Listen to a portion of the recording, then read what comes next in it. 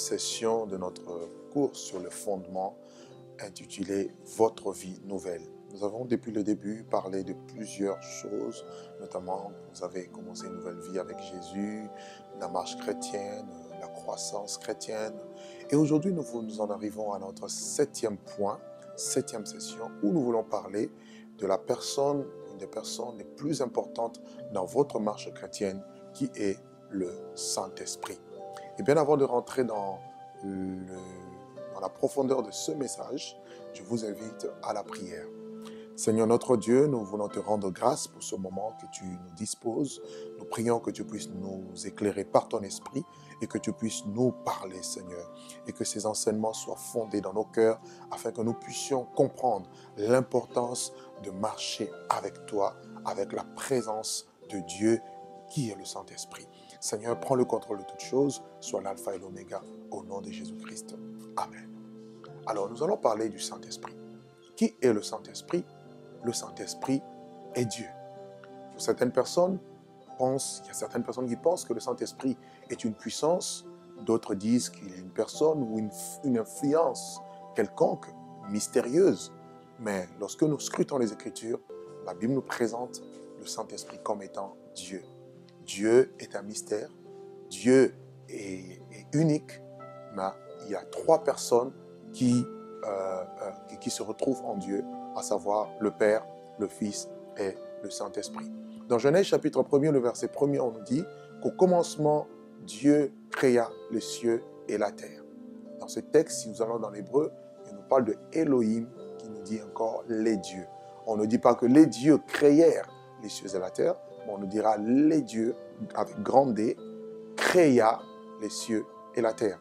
Ainsi, nous pouvons voir les trois, trois personnes qui composent la divinité, en parlant du Père, du Fils et le Saint-Esprit, qui ne font qu'une seule personne, je dirais qu'un seul Dieu. Trois personnes distinctes, mais un seul Dieu. Alors, le Saint-Esprit est la personne la plus importante dans votre marche chrétienne. Pourquoi je le dis? Il intervient déjà le jour de votre conversion. Cela veut dire qu'avant même que vous puissiez donner votre vie à Jésus, l'agent même de votre, euh, je dirais, de votre conversion, de votre repentance, c'est le Saint-Esprit. La Bible dit dans Éphésiens chapitre 1, le verset 13, en lui, après avoir entendu la parole de vérité, l'évangile de votre salut, en lui vous avez cru, c'est-à-dire en Jésus-Christ, en la parole de Dieu, et vous avez été scellés du Saint-Esprit, qui est le gage pour la rédemption de ceux que Dieu s'est acquis pour célébrer sa gloire. Ce texte se retrouve dans le livre de Éphésiens, au chapitre 1er, le verset 13 au verset 14. Donc le Saint-Esprit, c'est grâce à lui que vous êtes devenus enfants de Dieu. Vous êtes nés de nouveau. Alors, vous devez aussi compter sur son aide pour marcher dans une vie chrétienne victorieuse. En d'autres termes, sans le Saint-Esprit, vous ne pouvez pas avoir une vie chrétienne influente. Sans le Saint-Esprit, vous ne pouvez pas aller de l'avant. Sans le Saint-Esprit, vous ne pouvez pas grandir. Vous ne pouvez pas croître. Quelqu'un dira, est-ce que la vie chrétienne, c'est un ensemble des règles ou encore des, prescriptions, des commandements à suivre qui pourraient devenir difficiles ou encore impossibles à les mettre en pratique? Je vous dirais non. La vie chrétienne, ce n'est pas d'abord cela. La vie chrétienne, c'est d'abord avoir Dieu et marcher avec Dieu. Parce que si vous avez Dieu en vous et si vous marchez avec Dieu, il rendra facile les commandements qui peuvent paraître difficiles aux yeux des hommes. Bien-aimés dans le Seigneur, le Saint-Esprit est la personne la plus importante que vous avez besoin pour votre marche chrétienne, pour que vous puissiez aller jusqu'au bout. Alors, dans la Bible, nous voyons plusieurs, euh, je dirais, euh, images ou encore typologies du Saint-Esprit. Il est représenté comme le vent dans euh, Genèse chapitre 2, le verset 7. On nous dira par exemple que l'Éternel Dieu forma l'homme de la poussière de la terre et ensuite il souffla dans ses narines un souffle de vie et il devint, l'homme devint une âme vivante. Et le souffle de vie n'était rien d'autre que le Saint-Esprit qui est le souffle de Dieu. Dans Jean chapitre 3, le verset 8, il est dit, Jésus dit, le vent souffle et tu en entends le bruit, mais tu ne sais ni d'où il vient, ni où il va. Il en est ainsi de quiconque est né de l'Esprit. Donc nous voyons l'aspect du vent qui représente un peu le Saint-Esprit. Vous avez aussi euh, l'huile. L'huile est aussi une image du Saint-Esprit. Nous voyons dans Ésaïe chapitre 61, le verset 1 il est dit que l'Esprit du Seigneur est sur moi parce qu'il m'a oint pour annoncer une bonne nouvelle aux pauvres, etc. Donc, l'huile est aussi l'image de l'Esprit de Dieu parce qu'on appliquait l'huile pour oindre. Et lorsqu'on oignait les personnes, ces personnes recevaient aussi le Saint-Esprit. Dans l'Ancien Testament, il y avait trois types de personnes qui recevaient, sur qui on appliquait l'huile afin que l'Esprit de Dieu vienne sur eux. Il était question des sacrificateurs dans Exode chapitre 30. Il était question des rois dans 1 Samuel chapitre 10 et 1 Samuel chapitre 16. Et il s'agissait aussi des prophètes.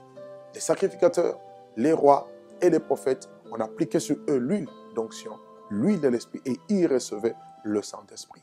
Vous voyez, lorsque euh, Samuel va moindre, va répandre l'huile sur la tête de David, la Bible dira qu'à partir de ce moment-là, l'Esprit de Dieu s'est saisi de lui jusque dans la suite.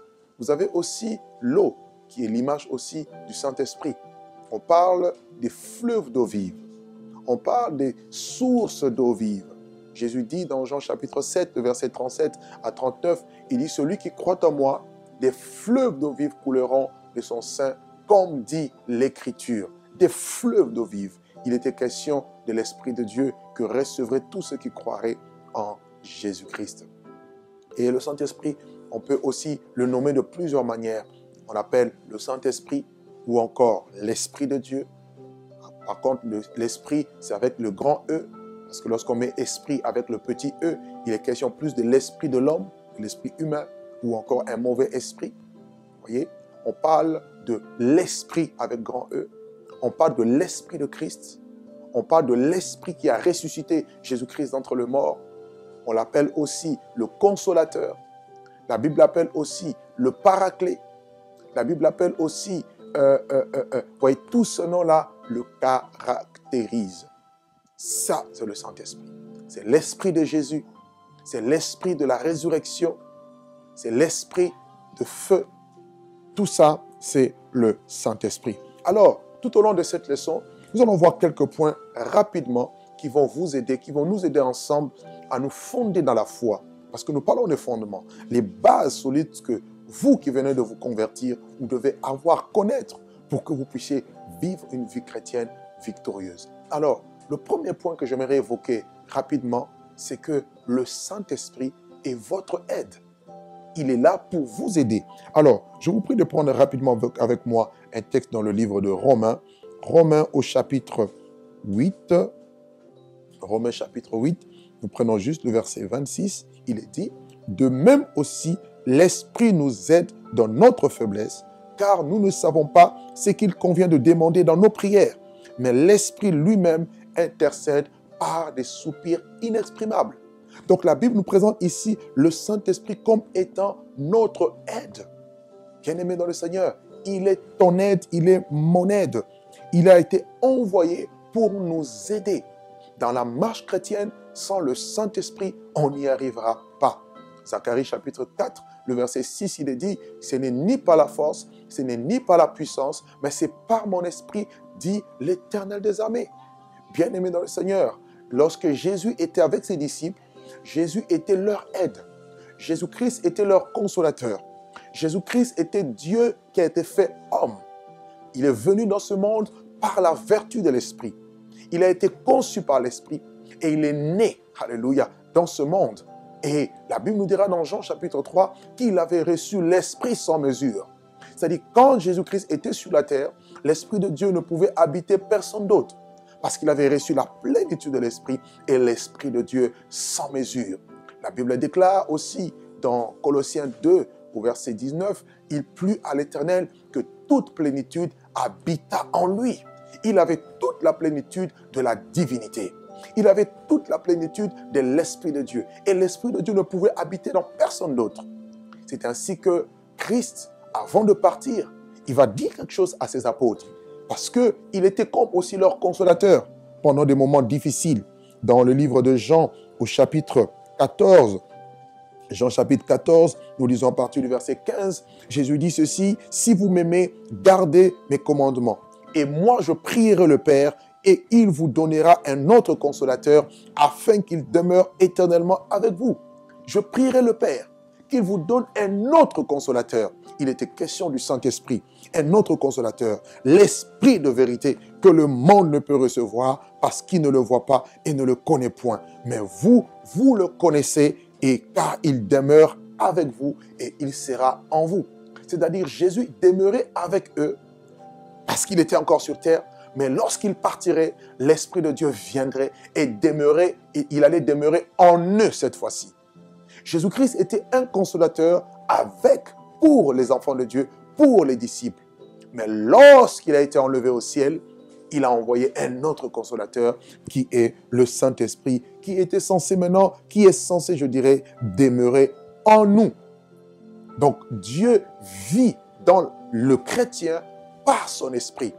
Dans Jean toujours chapitre 14, le verset 26, il est dit, mais le consolateur, l'Esprit Saint, que le Père enverra en mon nom, vous enseignera toutes choses et vous rappellera tout ce que je vous ai dit. Donc lorsqu'il vient, le Saint-Esprit, il vient d'abord pour nous enseigner toutes choses, nous enseigner à connaître Dieu. La Bible déclare dans Hébreu chapitre 8, dans l'alliance nouvelle que Dieu établit avec ses enfants, personne n'enseignera à son frère en disant connais le Seigneur, car tous me connaîtront. La présence du Saint-Esprit dans ta vie, il vient pour t'enseigner. Il amène l'onction qui te donne la connaissance de Dieu. 1 Jean chapitre 1, le verset 20 et le verset, plutôt 1 Jean chapitre 2, le verset 20 et le verset 27 nous dit, pour vous, vous avez reçu l'onction de la part de celui qui est saint et vous n'avez pas besoin qu'on vous enseigne. Car l'onction que vous avez reçue vous enseigne elle-même. Cette onction vous enseigne. Cela ne veut pas dire qu'on n'a pas besoin d'enseignants. Non. Ce qui veut dire que le Saint-Esprit, dans la vie du chrétien, apporte l'enseignement ou la connaissance de Dieu. C'est-à-dire quoi? Tu n'as pas besoin qu'on te dise, par exemple, que fumer est un péché. Tu n'as pas besoin qu'on te dise que la fornication est un péché. Même si cela peut être révélé dans une prédication, le Saint-Esprit en toi a une petite voix qui te parle à l'oreille, dans ton esprit, en te disant que ce que tu fais, eh bien, ce que tu fais n'est pas bien. Donc il y a un enseignant permanent que Dieu t'a donné, qui est le Saint-Esprit, le consolateur. Lorsqu'il t'est donné, c'est dans le but de t'apporter un enseignement pour que tu connaisses Dieu. Et la Bible dit aussi qu'il vous rappellera tout ce que je vous ai dit. Il rappelle aussi la parole de Dieu. Il est notre aide. Je peux vous assurer, 7 jours sur 7, 24 heures sur 24, tous les mois, tous les ans, jusqu'au retour de Jésus, le Saint-Esprit est en nous et il est avec nous. Jésus dira dans Matthieu 28, il dit, je serai avec vous tous les jours jusqu'à la fin du monde. Enfant de Dieu, dans ta faiblesse, sache que tu peux faire recours au Saint-Esprit. Il est là pour te guider. Il est là pour t'aider dans tes problèmes. Il est là pour plaider pour toi devant le Seigneur. Deuxième chose que j'aimerais évoquer rapidement avec nous dans cet enseignement sur le Saint-Esprit, c'est que la présence du Saint-Esprit en toi doit faire germer la nature de Dieu ou encore produire ce que la Bible appelle le fruit de Dieu. Nous sommes considérés comme des arbres aussi, quelque part. La Bible dit que l'arbre est bon, le fruit sera bon. L'arbre est mauvais, le fruit sera mauvais. Dans Matthieu chapitre 12. Ainsi, aucun mauvais arbre ne peut porter de bons fruits. Et de même, aucun bon arbre ne peut porter de mauvais fruits. Si l'arbre est bon, le fruit sera bon. Bien-aimé dans le Seigneur, puisque le Saint-Esprit est en toi, vit en toi, il va produire dans ta vie ce que la Bible appelle le fruit du Saint-Esprit, c'est-à-dire la nature de Dieu. Ce fruit-là, ni les, païens, ni le diable et ses démons ne peuvent le produire parce que c'est un fruit qui découle de Dieu. Alors, puisque Dieu vit en toi, habite en toi, forcément, ce fruit va découler de toi. Alléluia.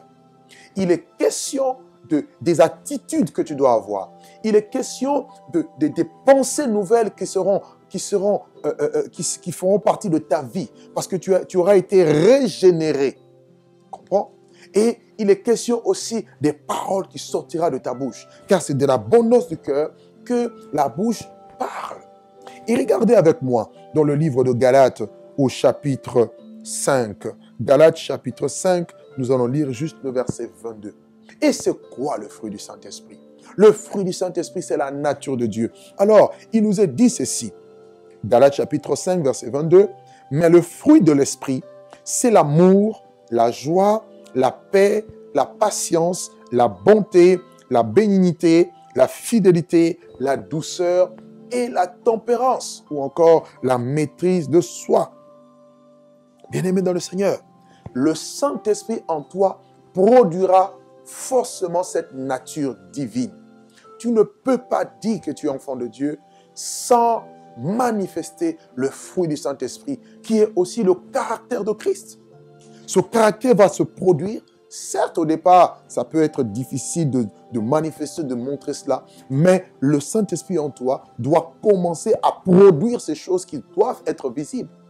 Alors, ce que Dieu attend de toi, c'est que tout simplement que tu collabores avec lui, que tu te laisses façonner, que tu laisses Dieu travailler en toi, que tu laisses cette nature divine se matérialiser, je dirais s'extérioriser, sortir de l'intérieur, puisque l'esprit à l'intérieur, et devenir visible et palpable pour que les gens le voient. Tu ne peux pas manifester, avoir dire que tu as le Saint-Esprit et ne pas manifester le fruit de l'Esprit.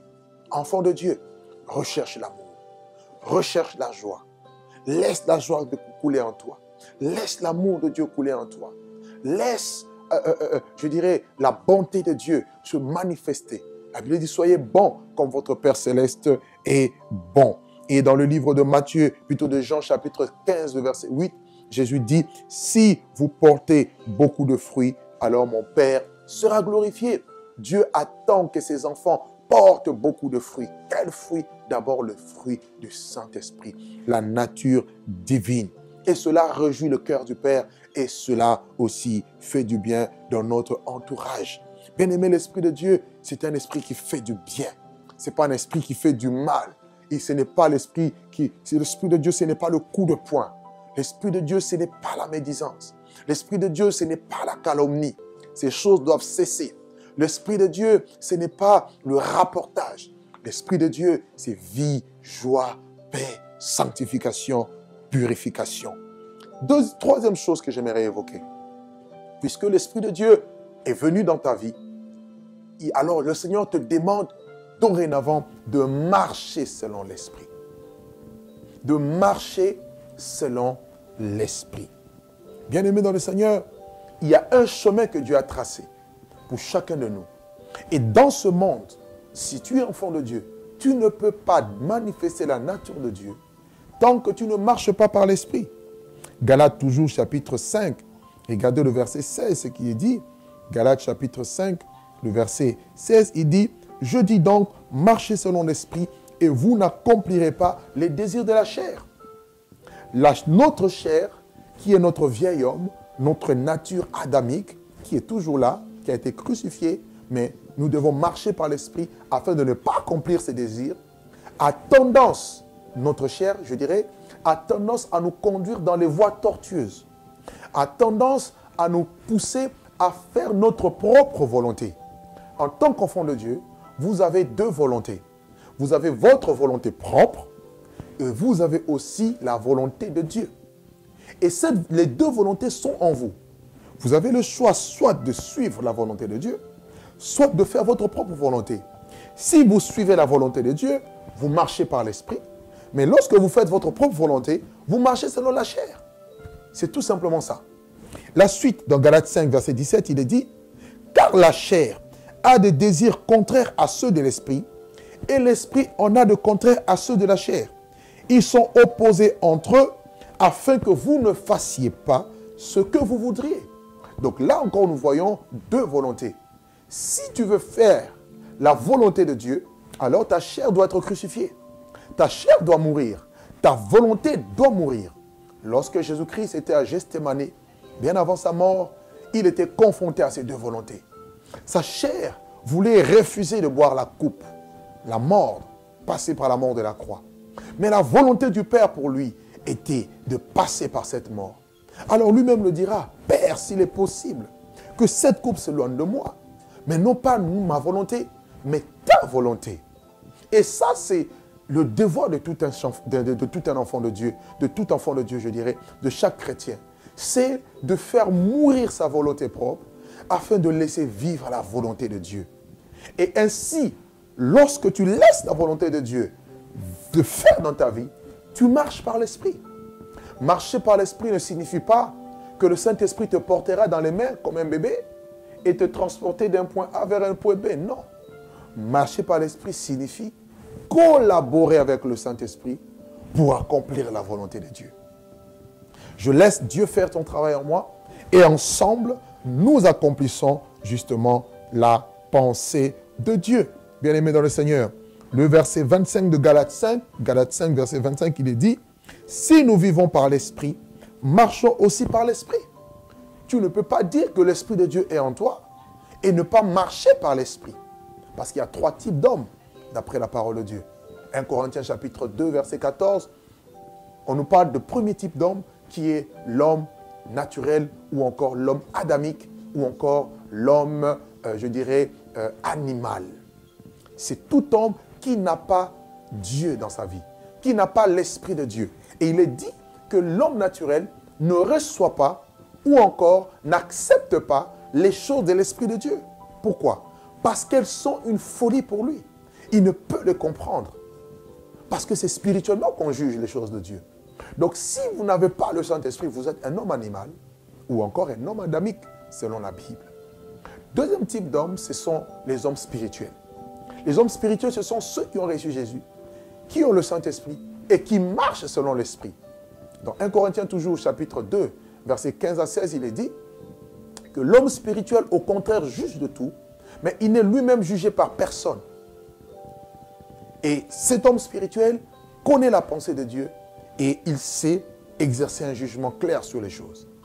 Et la troisième type de personne, c'est l'homme euh, plutôt l'homme charnel ou le chrétien charnel. 1 Corinthiens 3, verset 1 à 3, où on nous parle de, ceux-là qui ont reçu Jésus, qui ont, le Saint-Esprit, mais qui malheureusement marchent selon la chair. Et dans leur vie, on y trouve la vie de débauche, on y trouve la, la, les querelles, on y trouve la, la, les disputes, les animosités, les mauvaises choses. Voilà les choses qui caractérisent les hommes charnels.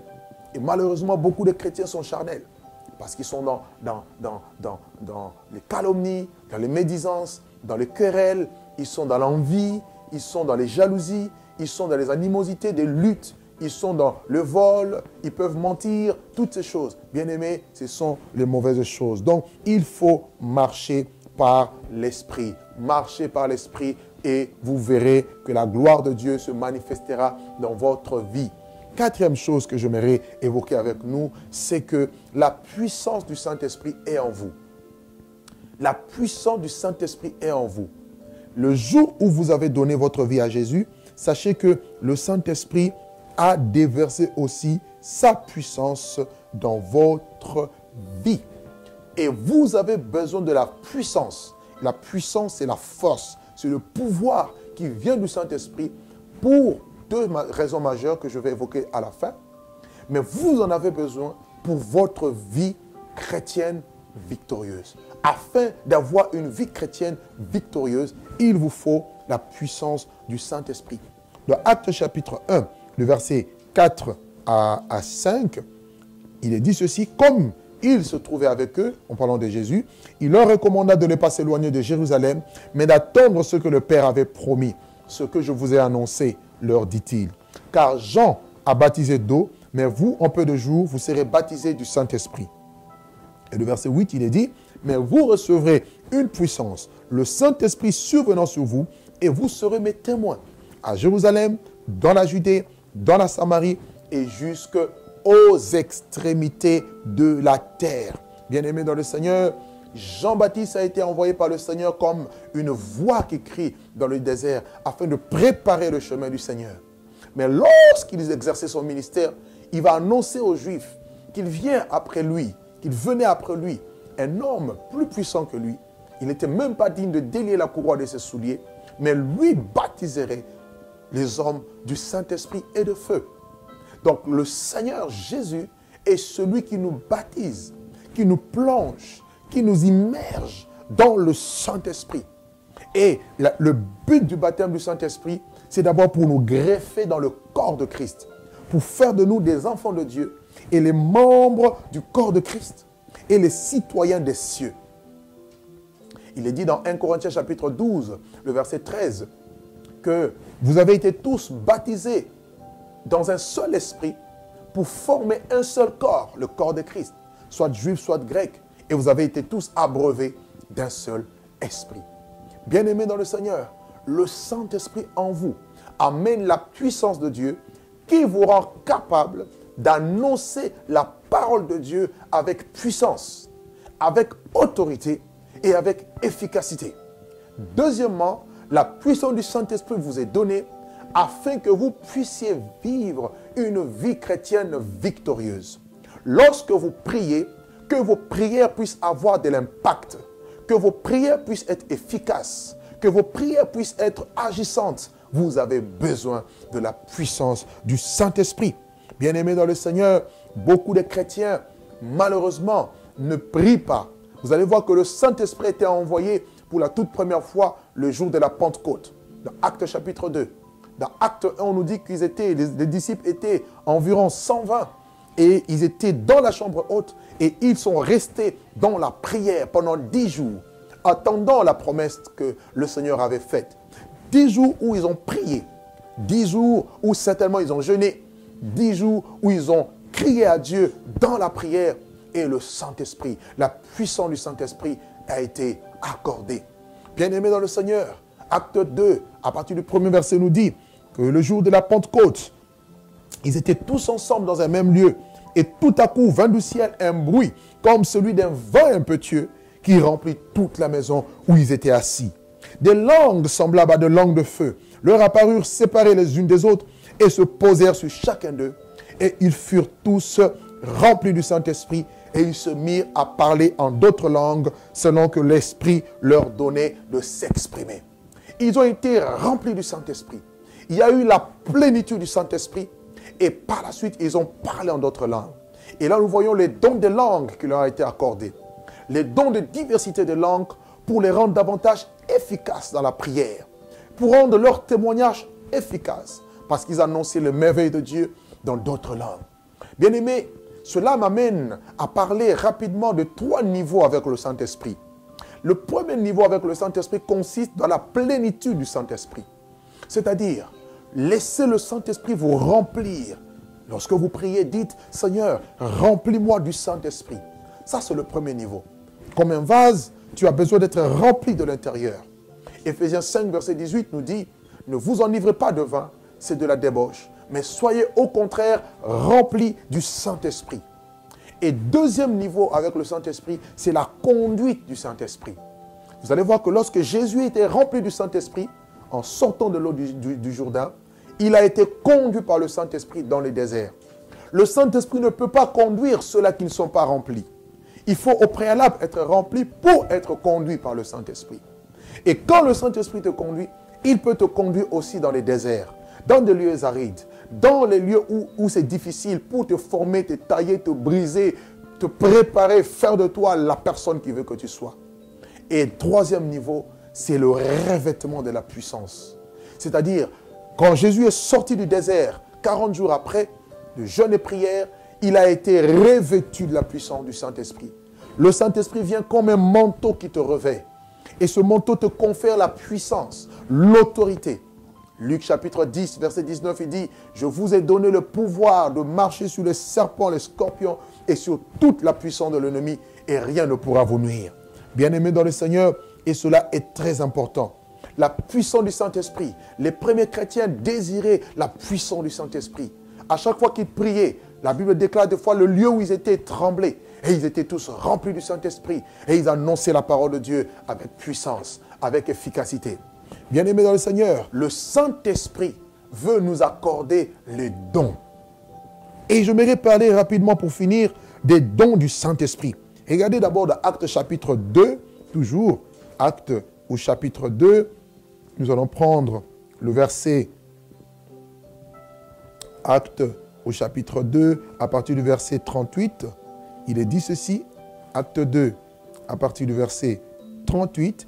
Pierre leur dit, répondez-vous et que chacun de vous soit baptisé au nom de Jésus-Christ pour le pardon de vos péchés et vous recevrez le don du Saint-Esprit. Car cette promesse est pour vous, pour vos enfants et pour tous ceux qui sont au loin, en aussi grand nombre que le Seigneur Dieu les appellera. Il dit, répondez-vous et soyez baptisés et vous recevrez le don du Saint-Esprit. Le don est une faveur imméritée. Le don de Dieu. Et le Saint-Esprit, c'est le don que Dieu t'a donné. Et la présence du Saint-Esprit dans la vie d'un enfant de Dieu apporte aussi les dons spirituels, qu'on appelle aussi les dons, euh, euh, euh, je dirais, les charismes. En le grec, ça donne charisme qui parle des, charismes, des dons de puissance, des, des, dons surnaturels, voilà. Des dons surnaturels qui ne découlent pas de vos talents naturels ou humains, mais qui viennent de Dieu pour accomplir la mission de Dieu. Bien-aimés, ces dons nous sont donnés par Dieu pour un but.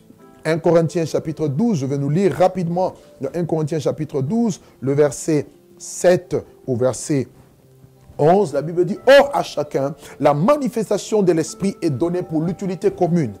En effet, à l'un est donné par l'Esprit une parole de sagesse, à un autre une parole de connaissance selon le même Esprit, à un autre la foi par le même Esprit, à un autre le don de guérison par le même Esprit, à un autre le don d'opérer des miracles, à un autre la prophétie, à un autre le discernement des esprits, à un autre la diversité des langues, à un autre l'interprétation de langues. Un seul et même esprit opère toutes ces choses, les distribuant à chacun, en particulier comme il veut. Donc le jour où tu as donné ta vie à Jésus, Dieu t'a donné, le Saint-Esprit t'a donné ne serait-ce qu'un don spirituel, un charisme, ça peut être la parole de connaissance, ça peut être la parole de sagesse, ça peut être le parler en langue, la vision, ça peut être la prophétie, le don de guérison, peu importe, tu l'as reçu. Et c'est dont tu le reçois pour le service. La raison pour laquelle je disais dans la session précédente qu'il faut, qu'il nous faut tous servir Dieu. Tu ne peux pas être enfant de Dieu ne pas servir Dieu. Non.